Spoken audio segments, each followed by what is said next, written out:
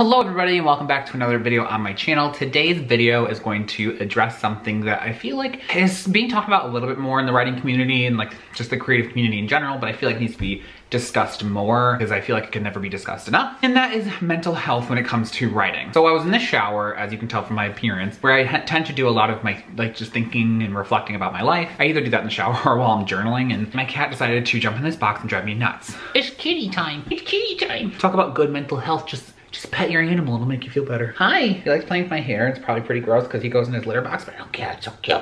As I said in my last writing vlog video, today I had a very specific video that I was going to record to upload for today, and it didn't happen. This wasn't the one. I actually almost didn't record a video for today, and then I decided that this was something I wanted to talk about, and it's kind of the reason why I didn't upload a video. Well, I wasn't recording a video for today, so I felt like it needed to be discussed. And instead of me stalling, I should just talk about it. A lot of times when it comes to writing and mental health, I've noticed like on Twitter and Instagram, when people give this advice that I don't agree with. I saw someone in particular a few weeks ago say on Twitter, I don't remember who it was, and I wouldn't tell you anyway, I'm not trying to call anybody out, but there's this like thing where people say like, if you're not excited with your manuscript anymore, it's not the right manuscript for you, you should move on and work on something else that does excite you. And I think that's a really actually, not dangerous way of thinking, but a, a counterproductive way of thinking when it comes to creative works and just mental health in general. I suffer from severe depression as well as anxiety and I also have some health issues that kind of play into my mental health issues as well. They kind of like exacerbate it. I find myself often kind of being fed up with the manuscript while I'm working on it. The thing is, I can love a manuscript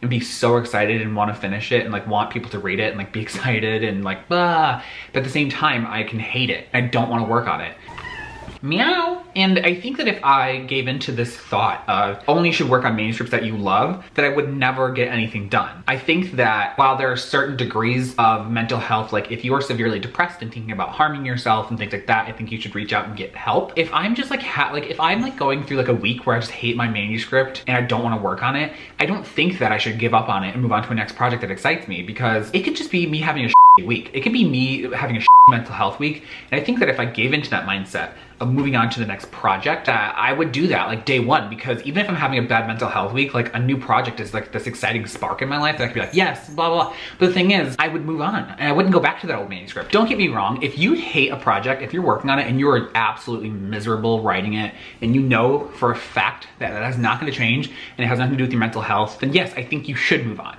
You do come to a point where you have to recognize when it's time to move on to a new project, which I have done. You watch my old writing vlogs, I put aside the witch book, I put aside other books, mm, different manuscripts, to move on to something that I knew I would have more of like a full force excitement to work all the way through. I just, I don't, I feel like I'm rambling and it's not making a lot of sense, but I just feel like this is a really dangerous way of thinking is to like abandon things that don't excite you because when you're someone that suffers from anxiety and depression or just any mental health issue, the thought of like leave behind whatever doesn't excite you and move on to something new in any capacity in your life can be very dangerous. There are times where I get sick of everything in my life. Like I don't want to play video games for this week. I don't want to draw. I don't want to, and the, thought of like abandoning that to move on to something else that excites you, you're always chasing this new high, I feel like it's a very dangerous way of, of, living. I'm not saying that you should pull yourself up by your bootstraps because I hate that way of thinking, especially when it comes to mental health, especially when it comes to mental health, because mental health isn't so pull yourself up, like it is an actual chemical imbalance in your brain and it can't be that easily overcome. So I hate that way of thinking and I don't, I'm not saying that. Like I'm not saying you should just weather through it. If like again, like I said earlier, if it's something really serious, I think you should 100% reach out and get help. Like I don't think that you should have to go through things alone. It's always good to have a support system, whether that be in real life or like even just friends online or just family, you know, significant other, whatever. You should always reach out and have support. I feel like I'm just rambling about mental health, you know. I just have like a lot of strong feelings about this and I, I think that a lot of people in the writing community lately and the art community, uh, like I said, like on YouTube and Twitter and Instagram have this really strange way of thinking about it that to me says like you never had to deal with this. And if you have like i don't i think that you should revisit this because ignoring mental health doesn't make it go away. You're like these negative mental health things will not disappear. They're not just gonna disappear. So like forcing them out and like moving on i don't know. Am I, I'm rambling, I'm sorry, I'm sorry. I'm rambling. What this comes back to, the reason why I'm recording this video is I wanted to talk um, openly about why I didn't do that other video that I was, that was more rant. This is more the point, I guess. I don't know. Today was supposed to be a video that I do plan on uploading either next week or sometime soon. I'll tell you what it is because I want you to follow along and watch it later. But the reason why I didn't is because Sunday was a really bad mental health day for me. I don't even know 100% what happened.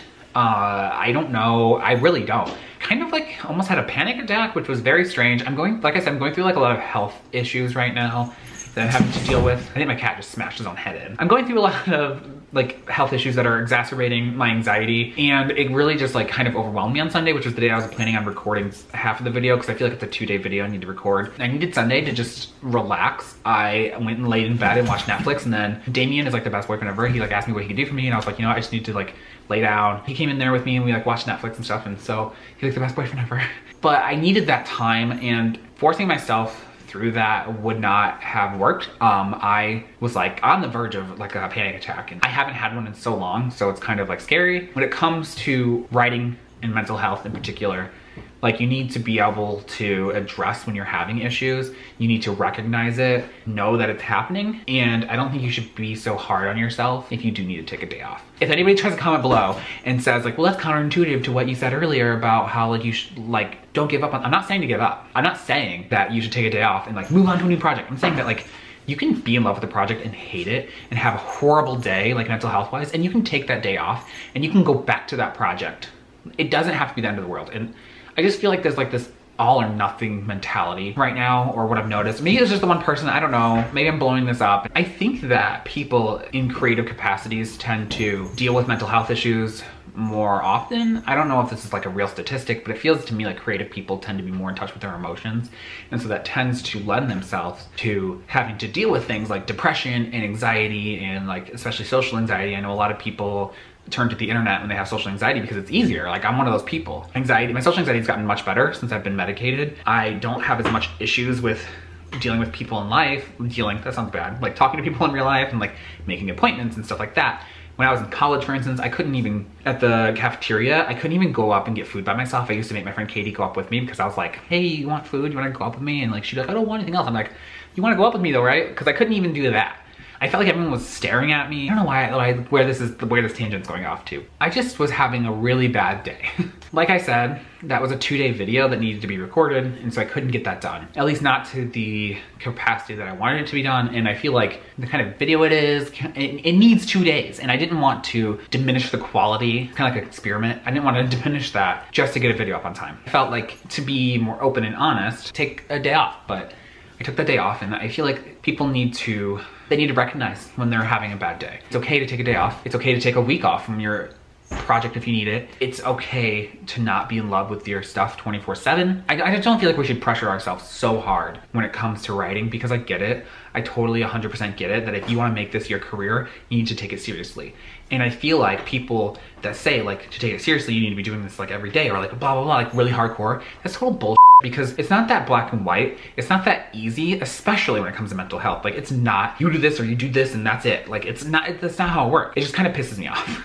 um, that I've been seeing this lately, and I felt the need to talk about it. I feel like mental health is something that I care passionately about because I do suffer from things, and I know so many um, friends and family that also suffer from things, and it just means a lot to me that mental health is taken seriously, and I feel like it's not in a lot of cases. I feel like, especially this last few years, and especially in the writing and reading community online, it's been like coming up more and more often. So it is being, it is slowly being addressed more in a more positive light. But when I see things like, if you weren't in love with your manuscript, move on, like that crap just pisses me off. I and I felt the need to talk about it. it. it. probably didn't make a lot of sense, but I felt the need to kind of get it off my chest. I do care passionately about mental health issues. Again, I don't know if I articulate myself the best about mental health issues. If it's something you're interested in, my sister Laura makes videos about all kinds of things, but she often talks about her mental health um, journey, and she's like way better at explaining herself than I am. So if that's something you're interested in, I always link her channel in the description below. She's very open about mental health and like any questions you would have, and she's like, like I said, way better articulating it than I am. Thank you for watching this if you made it this far, and thank you for sticking with me. I will be having a writing vlog coming out on Thursday. That one might be a little short too because like I said, bad mental health day, so I haven't been doing a lot of writing, but there will be some writing in that video. So make sure you hit that subscribe button if you want to see all that stuff, and I will see you all in the next video.